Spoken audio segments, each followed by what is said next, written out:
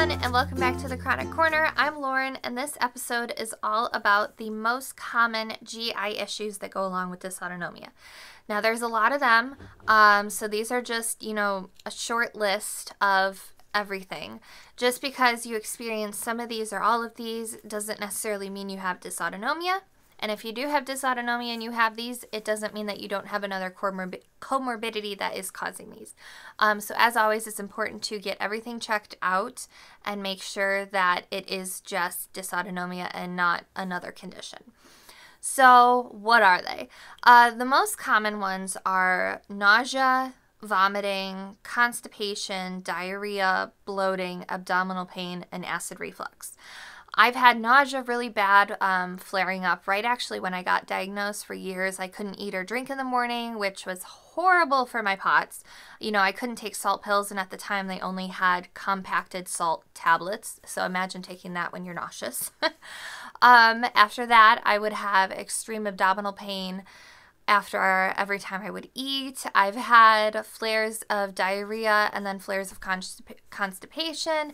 And of course, this stuff is very personal. No one likes talking about GI issues, but at the end of the day, it's very real and it's something that we kind of all deal with and it's important to talk about. And bloating. Bloating it can be super embarrassing. You know, I've had friends who are chronically ill who people will mistake them for being pregnant because they're so bloated and their stomach is so um, descended after they eat. And it, you know, it can be difficult, especially if you're out and about or you're on a date or whatever and you have a very bloated stomach. It can be really self conscious for a lot of people.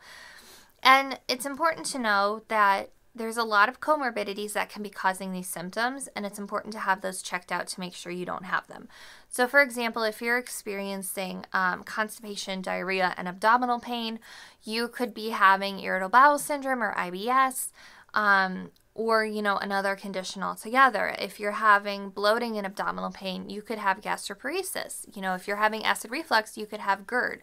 I recently was diagnosed with gerd um, and a lot of times for all of these symptoms and conditions what doctors will recommend is different medications to try which often don't help and diet change now, I've done the whole gluten free, corn free, soy free, sugar free, dairy free. There's a bunch of different items that you can rule out that are very common triggers for people when it comes to GI issues. It's a good place to start, especially if you're not super eager to go on a medication. But know that everyone's body is different, and just because it worked for one person doesn't necessarily mean it's going to work for you.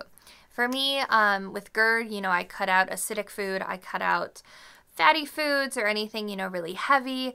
I've done super strict elimination diets and it really hasn't helped. Um, and I've tried medication. So it's just because it works for someone else. Like I said, it doesn't work for you. But if you have found things that helped you, if you have these symptoms, we would absolutely love to hear from you all in the comments below. And for more things chronic illness and dysautonomia, visit dinet.org. Thank you so much for watching.